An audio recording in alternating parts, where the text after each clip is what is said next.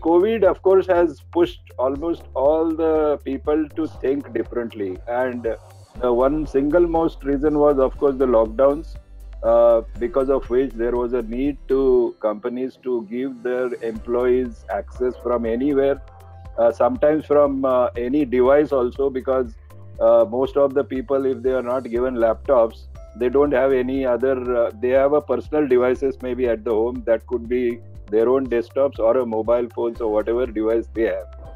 So again, the issue of security was there. So some companies who were not ready are struggled, and now they have realized that cloud adoption is the way forward, and uh, that's why I think there is an increase in the cloud adoption.